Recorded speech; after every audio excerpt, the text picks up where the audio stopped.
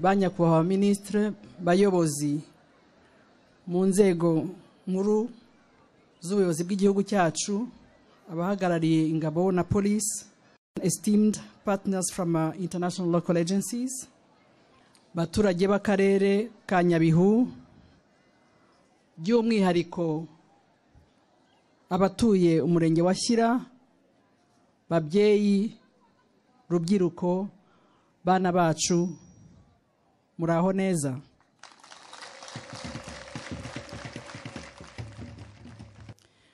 Duteraniye hano twizihiza umunsi mpuzamahanga wahariwe. Umugore we soko ry'iterambere rirambye akaba n'ishingiro ry'umuryango.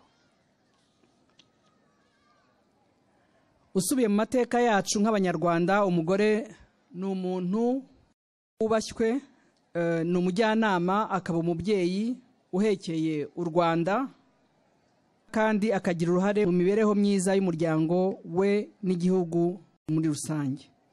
Nk'uko bigaragara henshi ku isi umugore yaje kubura agaciro akumirwa mu mirimo iteza imbere igihugu cye abuzwa uburenganzira bwo kwiga nka musaza we abuzwa uburenganzira ku mutungo kugeraho benshi muri bo babyakira gutyo nubwo tutakwirengagiza ko hari abaharaniye ko bihinduka. Muranyemerera ngira icyo mbwira abashyitsi turi kumwe uyu munsi batumva ururimi rwacu. Dear partners as we celebrate international women's day we also take the time to reflect and celebrate great achievements accomplished by rwandan women. We remember the incredible strides that have made rwanda one of the pioneers in championing efforts that promote and advocate causes for women and girls. After the 1994 genocide against the Tutsi, women were left to pick up the pieces left behind. Most found themselves as widows, having to assume the role as heads of households. A new responsibility arose as women were not only taking up roles as uh, heads of uh, their households, but securing positions of leadership in the country. Through the areas of hard work and de- dedication, women in Rwanda have helped the country cement its place in history as a country that not only takes pride but sets the standard in promoting and advocating for women's causes. It's through the support and encouragement of the government that women have continued to flourish in these new roles. uyu munsi rero turishimira ko ibi byabaye amateka kuko ubuyobozi bwiza bw'igihugu cyacu bwasubije umugore agaciro n'icyubahiro akwiriye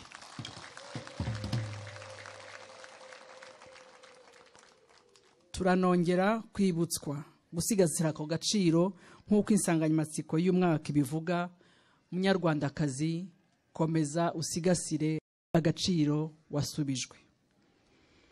Mu rwanda abagore bagize eh, mirongo itanu na babiri by'abaturage ntiwavuga rero iterambere ry'igihugu mu gihe abagize umubare munini batabigizemo uruhare. Tumaze gusobanukirwa uruhare rw'abari n'abategarugori mu iterambere ry'igihugu kandi bigaragarira mu ngeri nyinshi.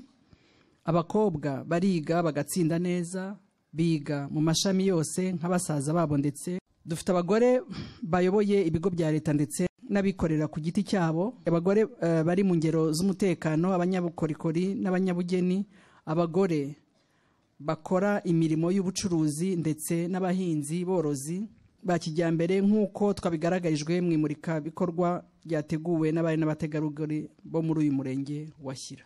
Babyeyi turabizi ko iyo wubatse ubushobozi bw'umugore uba wubatse umuryango.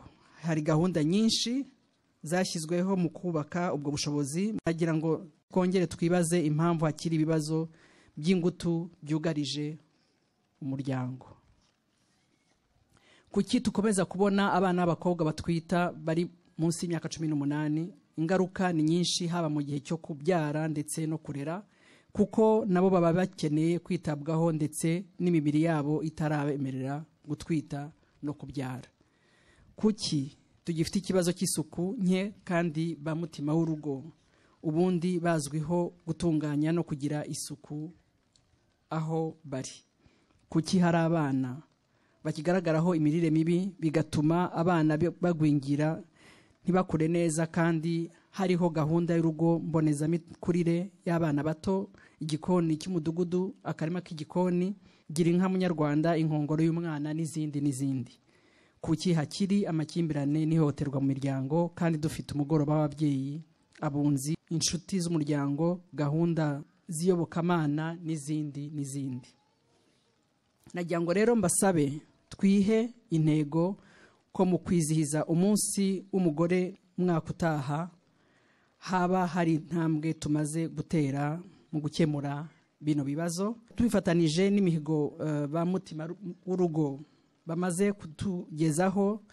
Dufatanije kandi na basaza bacu iyi mihigo tukayigira iyacu nta cyatubuza kuyesa. Babyeyi namwe abafatanyabikorwa muze dutoze abana bacu bakiri bato ihame ry'uburinganire n'ubwuzuzanye hagati y'abagabo n'abagore abahungu n'abakobwa. Tubibutse ko bashoboye batinyuke bakoreshe amahirwe bahabwa n'igihugu cyababyaye maze nabo bazavemwo ababyeyi beza babereye u rwanda. Bana bacu eh, cyane cyane bana b'abakobwa dukeneye ko mumenya ibibazo bibugarije. Mutinyuke kubiganira n'ababyeyi banyu kandi mwishakemo ibisubizo bibafasha guhangana na byo. Mutangije amahirwe y'ubuzima bwanyu. Mwirinde ababashuka bagamije kubangiriza ejo hazaza kuko nimwe babyeyi bazahekera u rwanda. Bavandimwe mwese mutaraniye hano eh, kwizihiza umunsi mukuru w'umugore twabifatanije no kuremera imiryango babivuze. Impamvu rero dukwiye gukomeza uyu muco ni uko umuryango turemeye tuba tufashije gutera intambwe igana iterambere ndetse nawo wamara kuyigeraho ukadufasha mu kuzahura abakiri inyuma nabo bakwiye gushyigikirwa muri iyo ntambwe. Mu gusoza eh, turashimira gahunda za leta zashyizweho mu rwego rwo gukomeza kuzamura ubushobozi bw'umugore mu guhangana n'ibibazo byugarije umuryango. Ndashimira abafatanyabikorwa bose mu gutegura uyu munsi mpuzamahanga w'umugore. Ndashimira mwese mwaje uyu munsi by'umwihariko ubuyobozi n'abaturage b'akarere ka nyabihu batwakiriye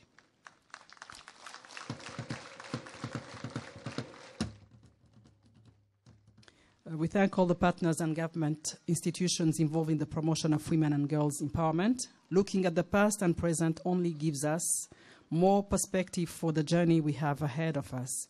Let us put our efforts in campaigns that not only realize the importance of supporting women, but that of women and men working alongside each other for the betterment of our people, our country, and subsequently the world.